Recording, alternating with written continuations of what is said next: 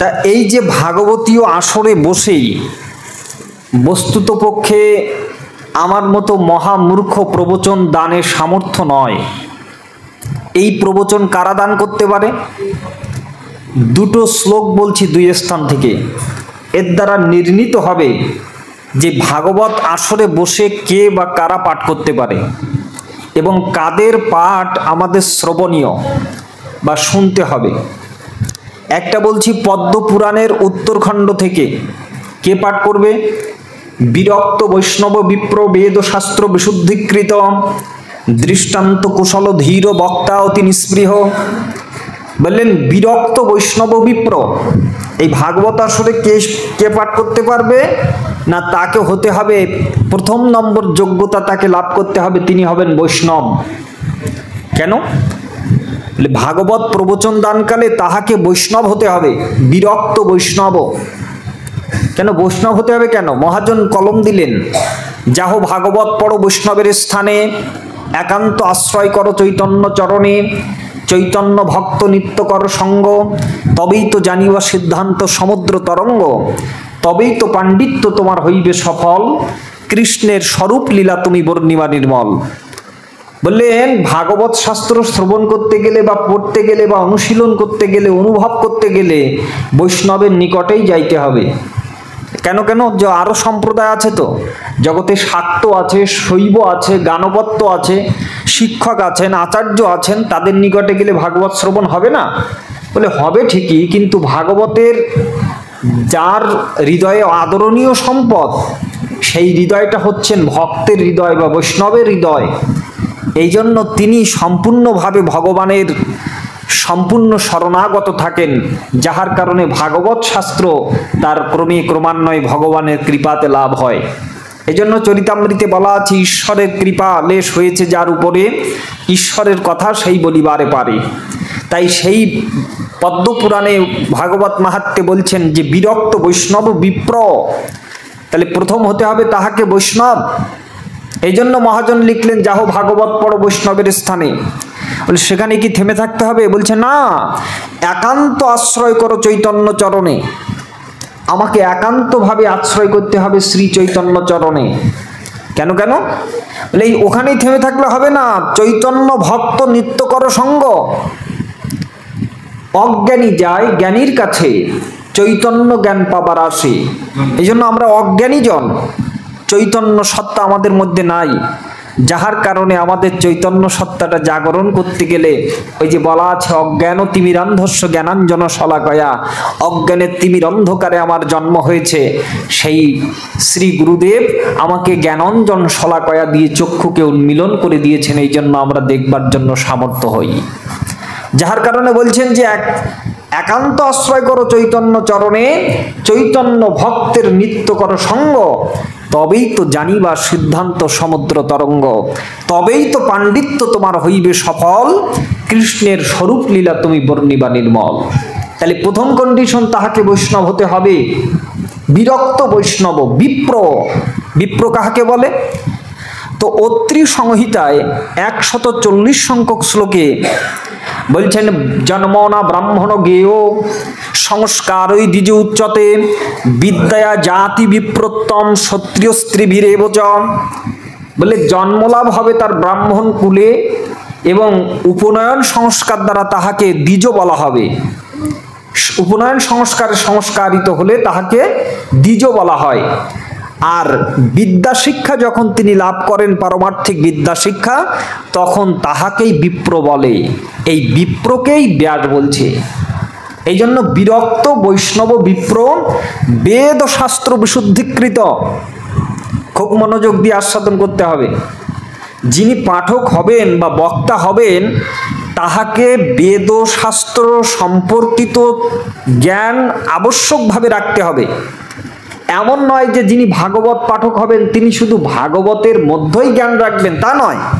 তাহাকে বেদাদি সমস্ত শাস্ত্রের জ্ঞান রাখতে হবে। কেন? তার কারণ ভাগবত হচ্ছে বেদমূলক বেদের সার হচ্ছে ভাগবত। এই জন্য যিনি ভাগবত পাঠ করবেন, তিনি বেদ শাস্ত্র সম্পর্কে অকিবহাল তাকে হতেই হবে। এই জন্য বলা হলো বেদ ও শাস্ত্র বিশুদ্ধিকৃত। দৃষ্টান্ত কুশল ধীর। তিনি আসরে যে দৃষ্টান্ত উপস্থাপন করবেন, সেই দৃষ্টান্ত হতে হবে শাস্ত্র নির্ভরশীলতা ভাবে শাস্ত্র ভিত্তিক দৃষ্টান্ত হতে হবে। তিনি যত কথা বলবেন, তার ভিত্তি বা তার প্রমাণ যেন শাস্ত্র থাকে। মহাপ্রভু এজন্য রামানন্দ রায়কে বলেছিলেন যে, রায় পরশলোক সাধ্যের নির্ণয়। বলেন নাই যে বল শ্লোক সাধ্যের নির্ণয়। বল মানে যদি বল বলতেন, তাহলে রায় রায় রামানন্দ কিন্তু নিজের প্রতিভা দিয়ে, জ্ঞান দিয়ে, নিজের মতো করে সাজিয়ে, কাব্য দিয়ে সুন্দর করে উপস্থাপন করতে পারতেন। কিন্তু প্রভু তাকে সেই সার্টিফিকেট দিলেন না, বললেন পরশ্লোক সাধ্যের নির্ণয়। তুমি যা বলবে, তার ভিত্তি স্বরূপ যেন শাস্ত্রের প্রমাণ থাকে। এই জন্য রায় রামানন্দ কিন্তু শাস্ত্রের প্রমাণের ভিত্তিতে একে একে সাধ্য সাধন তত্ত্ব কিন্তু বিস্তৃতি ঘটিয়েছিলেন। চৈতন্য চরিতামৃতের মধ্যখণ্ডের অষ্টম পরিচ্ছেদে সেটা বর্ণনা আছে। তাই বলছেন, দৃষ্টান্ত কুশল ধীর মানে অত্যন্ত শান্ত, ধৈর্যবান বক্তা অতি নিষ্প্রিয়। তাহলে এই হচ্ছে বক্তার যোগ্যতা। কিন্তু সেই যোগ্যতার সিটে ফোটা কিন্তু আমার মধ্যে নাই বাবা। আরেকটা শ্লোক আমি বলব বলেছিলাম, সেটা হচ্ছে ভাগবত মাহাত্মের চতুর্থতম অধ্যায়ে বলা আছে বক্তা সম্পর্কে। কি বলা হলো? ভগবান মতির অনপেক্ষ সুহৃদোষ দিনেশু সানুকল্প যা। বহুদা বোধন চতুর বক্তা সম্মানিত মনিভি। বললেন, ভগবান মতির অনপেক্ষ, তিনি ভগবানে একনিষ্ঠ ভক্তি। সুরিদ মানে তিনি হচ্ছেন সর্বসুরিত তিনি। সুরিত কাহাকে বলে? গীতাতে তিনটি শব্দ প্রয়োগ করা আছে, বন্ধু, মিত্র এবং সুরিত বন্ধু মানে যেমন আপনার সাথে আমার আজকে পরিচয় ঘটছে মানে আপনার সাথে আমার বন্ধুত্বতা হচ্ছে। আপনার সাথে যখন আমার কিছু দেওয়া নেওয়ার সম্পর্ক হবে, তখন কিন্তু সেই সম্পর্কটা মিত্রতার পর্যায়ে পৌঁছাবে। এবং সেই সম্পর্কটা যখন আপনি শুধু আমাকে দেবেনই, বিনিময়ে আপনি কিছু চাইবেন না, তখন আপনার সাথে আমার সম্পর্কটা, সুরিত সম্পর্ক হয়ে দাঁড়াবে। তাই জগতে যারা হরি কথা প্রচার করছেন, তারা নিরবিচ্ছিন্নভাবে সর্বসুরিদ হয়ে থাকেন। সর্বসুরিদ ও দিনে সুসানুকল্প যা, তারা দিনে দরিদ্রর প্রতি একেবারে দয়াদ্র হৃদয়ে থাকেন। বহুদা বোধন চতুর বক্তা, বহুদা মানে কি?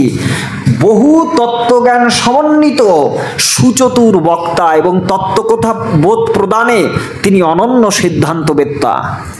সম্মানিত মনিভি তাকে শুধু জগতের মানুষ নয়, মুনিবৃন্দ তাহাকে সম্মান করিয়া থাকেন। তাহলে এই হচ্ছে বক্তার লক্ষণ, যে লক্ষণ আমার মধ্যে কিছুই নাই। তবে একেবারে চারটি লক্ষণ না থাকলে এই আসরে বসার যোগ্যতা হয় না। কি কি লক্ষণ? আস্বাদন করুন। আমরা একটু বক্তার লক্ষণ, শ্রোতার লক্ষণ, এগুলো আস্বাদন করেই আমরা একটু ভাগবতে অবগাহন করব। যাতে আমাদের ধারণা থাকে যে কেমন ভাব উদয় হলে তবেই ভাগবতের মতি হয়।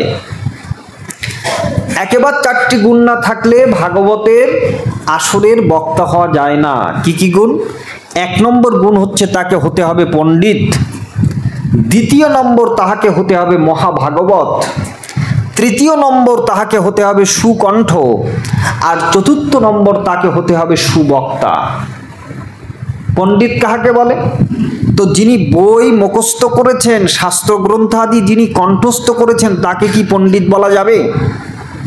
আমাদের ব্যাস সংহিতার চতুর্থ অধ্যায়ের সাতান্ন সংখ্যক শ্লোক থেকে উনষাটতম শ্লোকের মধ্যে ব্যাসদেব লিখলেন যে, একশো জনের মধ্যে একজন হয় বলবান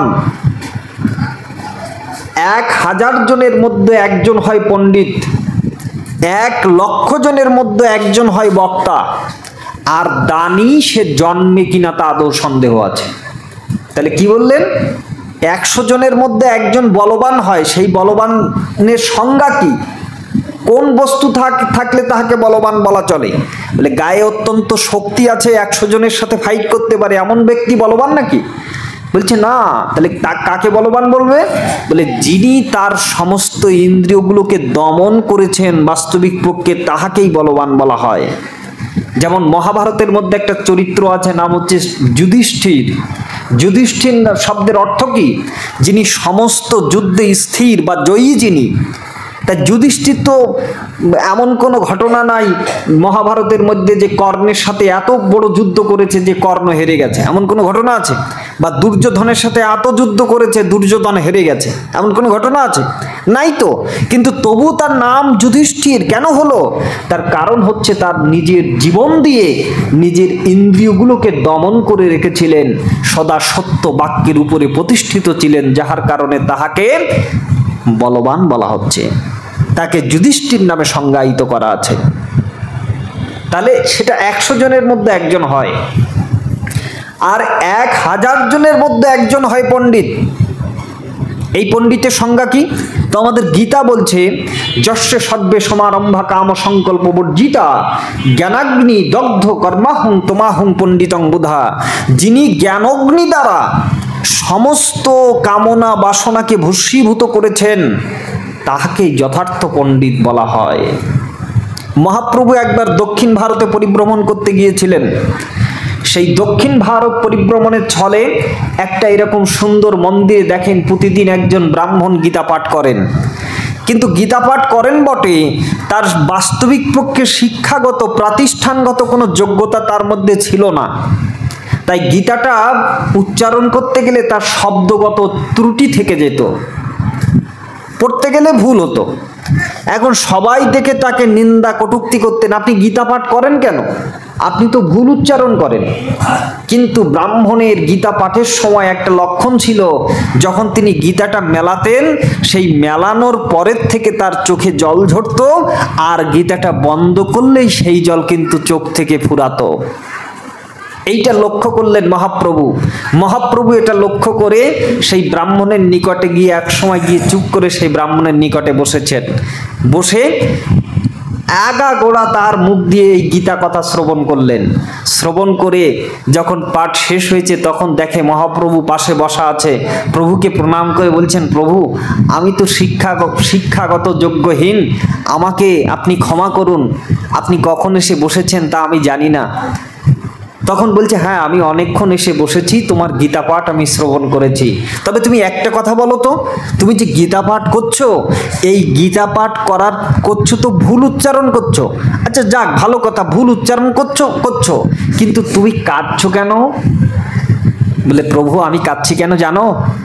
আমি এ কারণে কাঁদছি যে যখন আমি গীতাখানা মেলাই যেমনভাবে কুরুক্ষেত্রের সমারঙ্গনে ঈশ্বর তত্ত্ব বিভূতি বিশ্বরূপ দর্শন দ্বারা অর্জুনকে যেমন প্রবোধ প্রদানে শ্রী ভগবান জ্ঞানমুদ্রা অঙ্কুশ ধারণ করে যখন অর্জুনকে যেভাবে উপদেশ উপদেশামৃত দান করেছিলেন, তেমনভাবে গীতারখানা মেলালেই গীতার প্রতিটি শব্দের মধ্যে যেন সেই সাক্ষাৎ শ্রী ভগবান আমাকে উপদেশ দিচ্ছেন। এই দৃশ্য আমি দেখতে পাই। এই জন্য তখন আর আমি আমার নিজেকে আটকিয়ে রাখতে পারি না, আমার ভিতরে অষ্টসাত্ত্বিক বিকার পরিবেশিত হয়। তখন প্রভু কি বলেছিলেন? হ্যাঁ ব্রাহ্মণ, গীতা পাঠে তোমারই অধিকার। তুমি সে জানো গীতার মর্মার্থ সার। তুমি জানো, কারণ কি? কারণ তুমি অনুভব করতে পেরেছ। এই শাস্ত্র পাঠ করলে অনেকেই বই পড়ে মানুষ বই হয়ে যায়। কিন্তু এই বইয়ের মধ্যে বা গ্রন্থের মধ্যে বা শাস্ত্রের মধ্যে যে সমস্ত শব্দ বাক্য ব্রহ্মগুলো আছে, এইগুলোকে বাস্তবিকভাবে যদি আপনি হৃদয়ঙ্গম করতে পারেন, অনুভব না করতে পারেন, তাহলে আপনার শাস্ত্র পাঠ বৃতা হয়। তাই পণ্ডিত তাহাকে বলা হয়, যিনি শাস্ত্র শুধু পড়েন না, তিনি শাস্ত্রগুলোকে হৃদয় দিয়ে অনুভব করতে পারেন, তাহাকেই যথার্থ পণ্ডিত বলা হয়। কিন্তু দেখুন ভক্তগণ, আমি কিন্তু সেই পণ্ডিত হতে পারি নাই। দ্বিতীয় যে গুণটা প্রয়োজন, সেটা হচ্ছে মহাভাগবত। এই মহাভাগবত কাহাকে বলে? বলে মহাভাগবত তাহাকে বলা হয়। চৈতন্য চরিতামৃতে শিল শ্রীযুক্ত কবিরাজ গোস্বামী বলেছেন,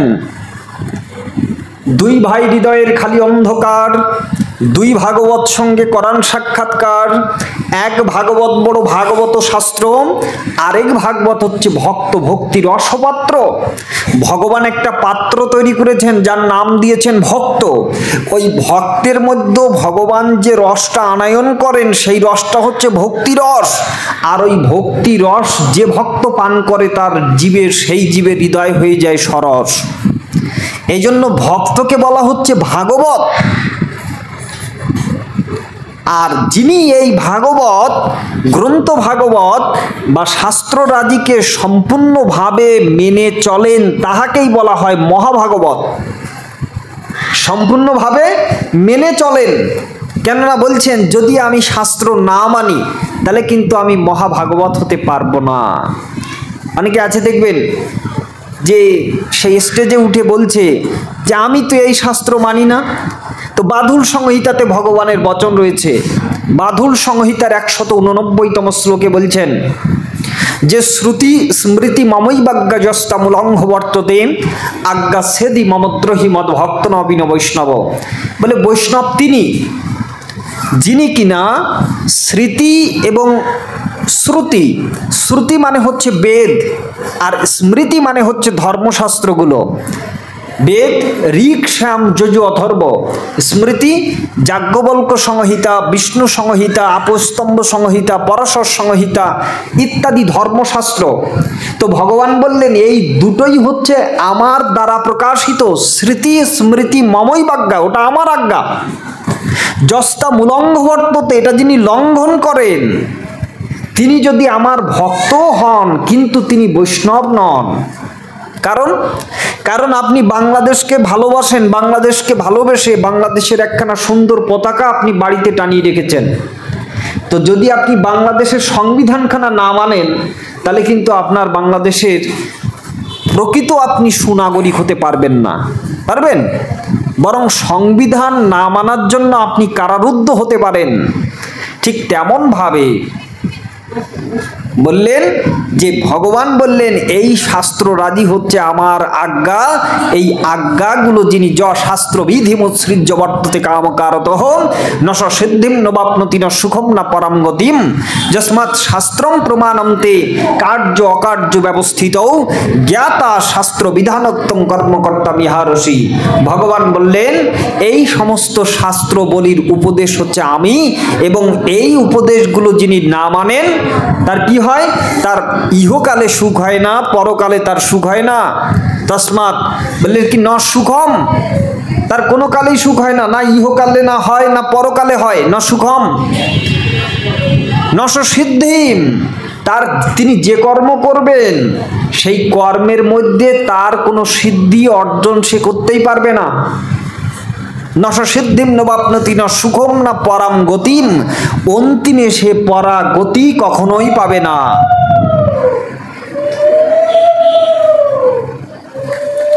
অন্তিমে সে পরাগতি কখনোই লাভ করতে পারবে না।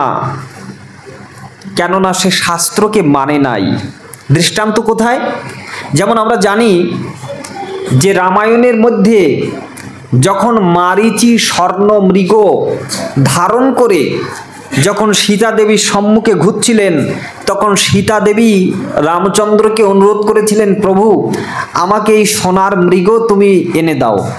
তখন প্রভু সোনার মৃগ আনতে গিয়েছিল, যখন বান মেরেছিল মারিচের অঙ্গে, তখন মারিচ ওই হরিণ মূর্তি পরিত্যাগ করে সস্বরূপে বিরাজ করে রামচন্দ্রের কণ্ঠে ডেকেছিলেন লক্ষণকে। ডাকলে সীতা বলেছিলেন, লক্ষণ, তুমি যাও, তোমার দাদা বিপদে পড়েছে। তাই লক্ষণ কি করেছিল? লক্ষণ করেছিল যে, মা, আমার দাদার কণ্ঠ এটা হতে, এটা নকল করা হচ্ছে। আমার এটা বাস্তবিক পক্ষে আমার দাদা বিপদে পড়ে নাই। এটা কোনো ছলনা করা হচ্ছে আমাদের কিন্তু সীতা তো সে মন মানে না। সে ভৎসনা করে লক্ষণকে পাঠিয়ে দিয়েছিলেন। কিন্তু লক্ষণ যাওয়ার আগে একটা গণ্ডি এঁকে দিয়েছিলেন। এই পর্যন্ত সবাই জানেন, তাই না? একটা গণ্ডি করে বলেছিলেন, মা, এই গণ্ডির বাইরে কিন্তু তুমি বের হবে না। যদি বের হও, তাহলে কিন্তু বিপদ হওয়ার সম্ভাবনা আছে। কিন্তু সীতা দেবী কি সেটা শুনেছিলেন? তিনি তো গণ্ডি পার করে ফেলেছিলেন। ওই গণ্ডি পার করার ফলেই কিন্তু তিনি লঙ্কাট রাবণ কর্তৃক হরণ হয়েছিলেন। এই জন্য বলছে, ওই গণ্ডিটাই হচ্ছে শাস্ত্র য শাস্ত্র বিধি বিধিমৎসৃজ্য বর্ততে কামকারত। রেখেছিলেন কোথায় রাবণ সীতাকে? বলে, অশোক বনে। অশোক বাস্তুশাস্ত্র বলছে, যদি কোনো বাস্তু ভিটাতে অশোক বৃক্ষ থাকে, তাহলে সেই বাস্তুতে যারা বসবাস করে, সেখানে তাদের কোনো শোক হয়, এমন কার্য সংগঠিত কখনোই হয় না। কিন্তু সীতা দেবীকে রেখেছিলেন অশোক বনে। সেই অশোক বনে থেকেও কিন্তু তার সেখানে শোক হয়েছিল। কারণটা কি? বলে, কারণটা হচ্ছে সে যে গণ্ডি মানে নাই। এই জন্য বলছেন যে মহাভাগবত তিনি হন, যিনি কিনা শাস্ত্রের নিয়মগুলো তিনি, যিনি মানেন, তিনি বাস্তবিক পক্ষে মহাভাগবত হন। পঙ্খানুপঙ্খু যিনি মানেন, তাকেই মহাভাগবত বলা হয়। কিন্তু আমি এমন অজ্ঞানতম মূঢ় অভাজন যে শাস্ত্রের এই নিগুড় সিদ্ধান্ত কথা আমার জীবন দিয়ে সম্পূর্ণভাবে আচরণ করতে সামর্থ্য নই যাহার কারণে আমি কিন্তু মহাভাগবত হতে পারি নাই। তাহলে বক্তার তৃতীয় গুণ কি? তৃতীয় গুণ হচ্ছে তিনি হবেন সুকণ্ঠী, তার কণ্ঠ হবে সুকণ্ঠ। কোকিল যখন ডাকে, তখন দেখবেন কোকিলের ডাক শুনে আপনি দাঁড়িয়ে যান। দাঁড়িয়ে গিয়ে বলেন, হে কোকিল, তুমি আবার ডাকো, তুমি বারবার ডাকো। তোমার ডাক শ্রবণের জন্যই যেন আমার কানটা উদ্গ্রীব হয়ে আছে। কিন্তু কাক যদি পাশে ডাকে একবার ডাকলেই আপনারা দূর দূর করে তাড়িয়ে দেন। এই, এখান থেকে যা বোধহয় অমঙ্গলের শুভ সূচনা করে গেলি তুই। এই জন্য আমার কণ্ঠ কিন্তু কোকিলের মতো নয়, বরং কাকেরই মতো হয়। একে তো কাকের মতো কর্কশ কণ্ঠ, তারপরে বাংলাদেশের বিভিন্ন প্রভিন্সে ভাগবতী কথা অনুষ্ঠানের ফলে কণ্ঠটা আরও চেপে গেছে, যাহার কারণে আপনাদের শুনতে একটু কষ্টই হবে, কাজে মানিয়ে নিয়ে শুনতে হবে। আর চতুর্থ গুণটা হচ্ছে সুবক্তা। সুবক্তা কাহাকে বলে? বলে বক্তা এবং সুবক্তা সুবক্তা তাকেই বলা হয়। তিনি যত কথা আসলে পরিবেশন করেন, তার সেই সমস্ত কথায় কোনো বাক্য সংকুচিত হয় না, এলোমেলো হয় না। কিন্তু আপনার লক্ষ্য করেছেন, আমি কথা বলছি, আমার বাক্যগুলো সংকুচিত হচ্ছে, এলোমেলো হয়ে যাচ্ছে। কাজে আমি কিন্তু সুবক্তা হতে পারি নাই। তাহলে প্রথমত আমি পণ্ডিত নই, যেটা এখানে বসবার জন্য দরকার। দ্বিতীয়ত আমি মহাভাগবত নই তৃতীয়ত আমি আমার সুকণ্ঠ নাই, আর চতুর্থত আমি সুবক্তা নই। তাহলে এখন আপনাদের মনে প্রশ্ন হতে পারে যে, বাবা কোনো গুণ তো তোমার মধ্যে নাই, তাহলে কেন তুমি উচ্চ আসনখানা নিয়ে বসলে? তাহলে একটাই কারণ, যেমন দেখবেন, দাড়ি পাল্লা, এই দাড়ি পাল্লাতে যদি যে পাল্লায় বাটকারাটা চাপানো হয়, সেই পাল্লাটা কি নিচে নেমে যায় নাকি উপরে উঠে যায়? নিচে নেমে যায় না? ঠিক তেমনই দাড়ি পাল্লা যে পাল্লায় বাটকারা চাপালে সেই পাল্লা যেমন নিচে নেমে যায়। আপনারা যারা নিচে বসে হরিকথা আস্বাদন মানুষে বসেছেন, আপনারা হচ্ছে আপনাদের মধ্যেই সমস্ত কিছু আছে। আর আমার মধ্যে শূন্য আছে যে কারণে আমি এই উচ্চ আসনখানা পেয়েছি? সূর্যের কোনো চন্দ্রের কোনো নিজস্ব আলো থাকে না। আমি হচ্ছি সেই চাঁদের মতো। কিন্তু সূর্যের নিজস্ব আলো থাকে যে আলো দিয়ে সে জগৎকে আলোকিত করতে পারে। এই জন্য সূর্য যতটুক পর্যন্ত আলো দেয়, যতটুক দেয়, ততটুক আলো কিন্তু চন্দ্র সুশোভিত আলো জগতে দান করতে পারে। আর ওই চন্দ্রের ওই আলোক প্রদানে এই জগতের সমস্ত ঔষধি ভেষজ বৃক্ষগুলো জন্মলাভ করতে পারে। কাজেই সেই আপনাদের মুখ পানে চেয়ে সেই সাহসটা পাচ্ছি। ভক্তের সাহসে সাহসান্বিত হয়ে গুরু কৃপাকে সম্বল করে অতীব কিঞ্চিত ভাগবতী ও কথামৃত পরিবেশন করার আপনাদের সম্মুখে দৃষ্টতা করছি মাত্র। তাহলে আপনারা যে ভাগবত শুনছেন, শুনে চলেছেন, এই ভাগবত শুনলে কি হয়? আর না শুনলেও বা কি হয়? ভাগবত শুনলে কি হয় আর না শুনলেও বা কি হয়? তো ভগবান বললেন, ভাগবত মাহাত্মের শ্রোতব্যং মম শাস্ত্রম হি যশ ধর্ম জয়ার্থী নাম, পাপ ও ক্ষয়ার্থং লোকেশ মোক্ষার্থং ধর্মবুদ্ধি নাম। বললেন, শ্রোতব্যং মম শাস্ত্রম হি আমার কথা যিনি শোনেন, তার যশ, ধর্ম এবং বিজয় প্রাপ্তি হয়। আমরা বিভিন্ন সময় আমাদের দুর্ভাগ্যের জন্য বিভিন্ন জ্যোতিষীর কাছে গিয়ে থাকি। গিয়ে সেখানে আমরা জ্যোতিষী মহাশয়ের কাছে হাতখানা দেখিয়ে বলি, দেখুন তো মহাশয়, আমার জীবনে কেন এত দুর্ঘটনা ঘটছে? আপনি কোনো সমাধান করার ব্যবস্থা করুন। তখন জ্যোতিষী তার নিজ যোগ্যতা অনুপাতে তিনি সেই ব্যক্তিকে প্রেডিকশান দান করেন। তাই না? তার দুর্ভাগ্যটা কাটানোর জন্য। তো ভাগবত এখানে বলছে, এই দুর্ভাগ্য তোমার সহজেই কেটে যাবে। কি করলে কাটবে? বলে তোমার যশ প্রাপ্তি হবে তোমার সমস্ত কর্মে বিজয় প্রাপ্তি হবে। কি করতে হবে? বলে, শ্রোতব্য মম শাস্ত্রমহি তুমি ভাগবত কথা শোনো, আমার কথা শোনো। আমার কথা যদি তুমি কায় মনোবাক্যে শুনতে পারো, এক রেখাকীকরণ হয়ে শুনতে পারো, তবেই তোমার যশ, ধর্ম এবং বিজয় প্রাপ্তি হবে। শুধু কি তাই? পাপ ও ক্ষয়ার্থং লোকেশো। তোমার জীবনের যত পাপ, সেই সমস্ত পাপের ক্ষয় হবে। আমার জীবনের কি পাপ? বলে, মানুষের জীবনে হচ্ছে দুই প্রকারের পাপ হয়। একটা হচ্ছে প্রারব্ধজনিত পাপ, দ্বিতীয়টা হচ্ছে বর্তমান জীবনের করাকৃত পাপ। বর্তমান জীবনের করাকৃত পাপ আসছে তিনটা বস্তু থেকে, কায়, মন এবং বাক্য থেকে। কায়িক পাপ আছে, বাচিক পাপ আছে আর মানসিক পাপ আছে। এই সমস্ত, এই তিনটা বস্তু দ্বারাই আমরা পাপকে আহরণ করছি এ জগতে। আর প্রারব্ধজনিত পাপের ফলে বিভিন্ন কুলে আমরা জন্মলাভ করেছি, বিভিন্ন স্থানে জন্মলাভ করেছি বিভিন্নভাবে জন্মলাভ করেছি। এটাই হচ্ছে গীতার সারতত্ত্ব কথা যে আমরা একবার আসি নাই। বহুবার আমাদের জন্ম হয়েছে, পুনরপি জনমম, পুনরপি মরণম। পুনরপি জননী জঠল শয়নম। ইতি সংসারে স্ফুটতর দোষ, কথপীয় মানস তব সন্তোষ। বলে, তুমি কিসে সন্তুষ্ট আছো? আজকে ভেবো না যে তুমি দালানালা পরিবারে এসেছ। আগামী দিন তোমার কর্ম তোমাকে কোথায় নিয়ে গিয়ে ফেলবে সেটা নির্ভর করবে তোমার বর্তমান জীবনের কর্ম। অতএব সাবধান হতে হবে। তাই বলছেন, পাপ ও ক্ষয়ার্থম লোকেশ। লোকেশ মানে লোক সৃষ্টিকারী ব্রহ্মাকে বলছেন, হে ব্রহ্মা, তুমি বলে দাও, এই ভাগবতী কথা শ্রবণের ফলে তার প্রারব্ধজনিত পাপ এবং বর্তমান জীবনের করাকৃত পাপ সমস্ত সমস্ত পাপ থেকে সে মুক্তি লাভ করবে এবং অন্তিমে সে মুক্তি পাবে মোক্ষার্থং ধর্মবুদ্ধি না অন্তিমে সে মুক্তির পথে নিজেকে পরিচালিত করতে পারবে। তাহলে ভাগবত যারা শুনবে না, তাদের কি হবে? তো ভগবান বলছেন, ন সিনন্তি ন ঋষ্যন্তি শ্রীমৎ ভাগবতম পরম। সত্যম সত্যম হি লোকেশ তেসাং স্বামী সদা জমা ভগবান বললেন, ন সিনন্তি আমার কথা যিনি শোনেন না, ন ঋষ্যন্তি আমার কথা শুনে যিনি হার্দিক প্রীতি অনুভব করেন না মানে হৃদয়ে শান্তি পান না। শ্রীমদ ভাগবতম পরম সত্যম সত্যম হি লোকেশ। আমি সত্য সত্য করে বলছি তেসাং স্বামী সদাজম তাদের অধিকার করবেন, তাদেরকে যারা শাস্তি দান করবেন, তারা যাবেন যেখানে সে তার অধিকর্তা হবেন হচ্ছে যমরাজ। অর্থাৎ সেই নরককুণ্ডেই হচ্ছে, হবে তাদের গতি। এই জন্য বলছেন মত কথা বাচকম নিত্যং মত কথা শ্রবণে রতম মত কথা প্রীত মানস নাহং তৎস্বামী তং নরম।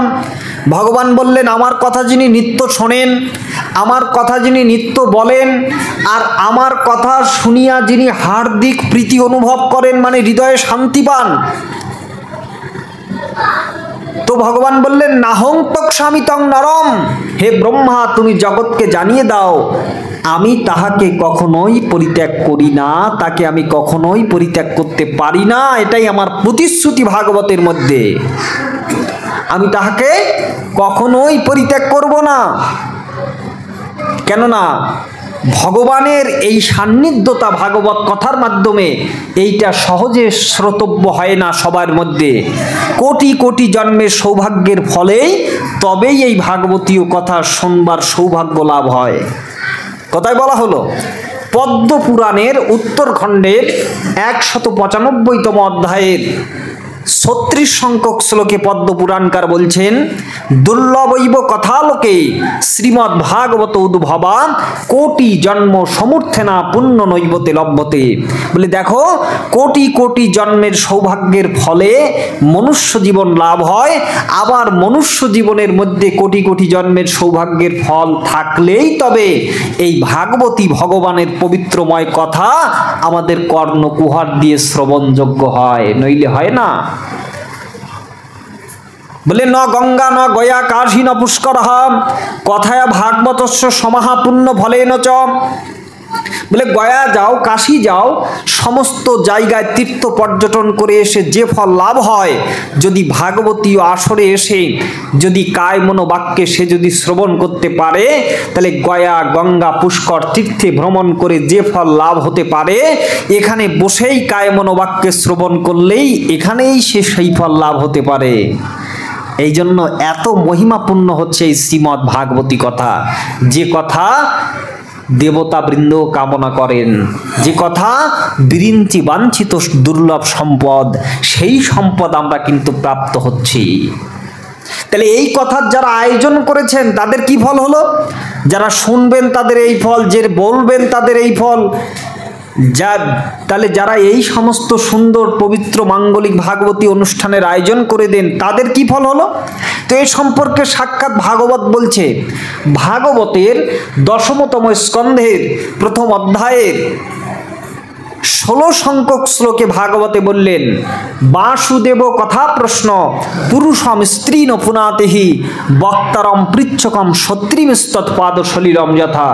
বলে দেখো, বাসুদেব কথা যিনি বলেন বক্তারম, বাসুদেব কথা বা গোবিন্দ কথার যিনি আয়োজন করেন পৃচ্ছকম, আর গোবিন্দ কথা যিনি শোনেন সত্রিম, এই বক্তা বলে যে পূর্ণ কল্যাণ মঙ্গল সাধন করে, তেমনভাবে আয়োজক কর্তা আয়োজন করে সেই পুণ্য পান আবার শ্রোতামণ্ডলী যে নীরবে শুনছেন, তারাও সেই একই ফল প্রাপ্ত হতে পারেন।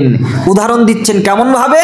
স্তদ পাদ সলিলং যথা, যেমন বিষ্ণু পাদর থেকে গঙ্গা প্রবাহিত হয়ে যেমন জগতে এসেছে, এবং সেই গঙ্গার জলে স্নান করলে যেমন ব্রাহ্মণ, ক্ষত্রিয়, বৈশ্য, শূদ্র, হাড়ি, মুচি, বউ, চণ্ডাল সকলেই পবিত্র পায়, পবিত্র হয়, ঠিক তেমনভাবে ভাগবতী কথা যিনি আয়োজন করেন, ভাগবতী কথা যিনি বলেন, আবার ভাগবতী কথা যারা নিরবিচ্ছিন্নভাবে শ্রবণ করেন, এই তিনজনই গঙ্গায় স্নান করার ন্যায় পবিত্র এবং কল্যাণ মঙ্গল সাধন করতে পারেন।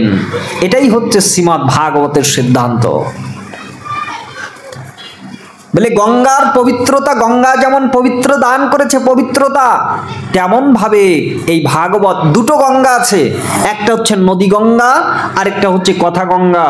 নদী গঙ্গায় যদি স্নান করতে যান, যদি সাঁতার না জানেন, ডুবে আপনার দেহটা যাবে মানে প্রাণটা চলে যাবে, দেহটা মারা পড়ে যাবে।